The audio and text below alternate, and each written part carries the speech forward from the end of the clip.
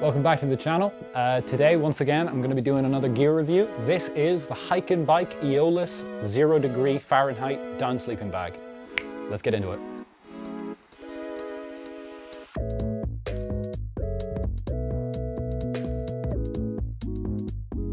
Okay, to begin with, this isn't actually my sleeping bag. This is one of my friend's sleeping bags. Uh, he's loaned it to me for this review. Thank you very much. Um, this is in a size medium. I use a size large. I actually previously owned this model of sleeping bag for two years until about two months ago when I upgraded to a new bag that I'll talk about later. This bag is made by a company called Hyke&Byke that are based in the United States. It's a very affordable sleeping bag. I think at the time of this, it's around about $150 or 150 uh, euros on Amazon. The temperature rating of this sleeping bag is something I've been confused about for quite some time because it is known as the Eolus uh, zero degree Fahrenheit bag. But that temperature is somewhat misleading. That's actually the extreme limit of this bag.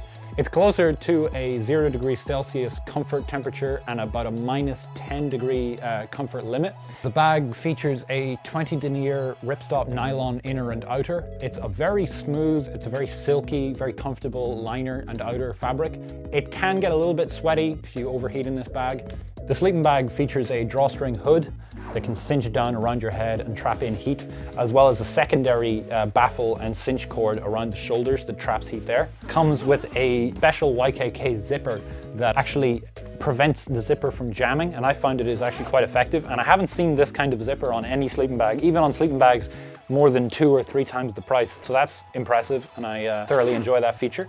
There's also an internal pocket here just above the shoulder baffle that is great for storing a phone in if you're going to very cold environments and you don't want to worry about your batteries getting cold. The whole bag features vertical baffles that run the entire length of the sleeping bag. And I have found that while it is possible to redistribute down yourself based on your own needs, it can and often does migrate during the night and you can end up with spots that don't actually have any insulation at all. That is somewhat of an annoyance. The bag weighs approximately 1.5 kilograms and features just over 900 grams of 800 fill power hydrophobically treated goose down that resists absorbing moisture uh, in damp conditions much better than untreated down. Which brings me to some of the cons of this sleeping bag as I see it. One of the first ones I've noticed is that the DWR water repellency on the outside of the bag fails pretty quickly. So if you're in a wet, condensation prone environment, uh, the outside of the bag won't repel moisture as well as some other bags. Previously, I had had an earlier version of this sleeping bag that didn't come with the uh, hydrophobically treated down, and I did the hydrophobic treatment afterwards using uh, Nikwax downproof treatment, which I found actually uh, extended the use case of this sleeping bag massively. Uh, I took that bag across Iceland in the shoulder season, experienced temperatures down to about minus five, quite a lot of uh, condensation, and the bag performed really well. Now, the other major concern I have with it is, as a person who's six foot four, the size large is actually, I would say, too large for me. Um, it's almost seven foot tall and you'll have some serious trouble fitting the size large inside a tent. When inside a tent, I would usually put a raincoat over the end of the bag to keep the condensation from uh, soaking my feet in the night. It's very wide at the shoulders and even in the legs, and it takes up a lot of space inside of a tent. It's fine when you're in a two person or a three person tent, but I'd have some serious trouble fitting a sleeping bag of this size inside a one man tent, which is also the ultimate reason why I upgraded my sleeping bag. This is the compression bag that the uh, sleeping bag comes with. Um, it doesn't compress it as much as I'd like. I think if these straps were shorter, you could uh, compress it down even smaller.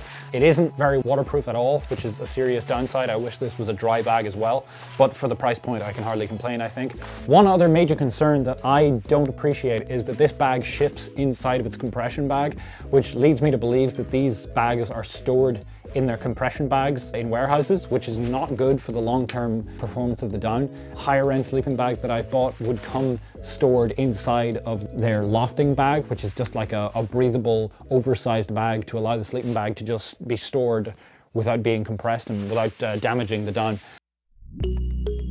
So in conclusion, I would say that this bag, for the money, is one of the best sleeping bags that money can buy. So yeah, that's my review. I hope you enjoyed it, guys. Make sure to hit that like button, hit the subscribe button, the share, the comment, whatever you, you want to do. Anyway, I'll catch you in the next video. See you guys.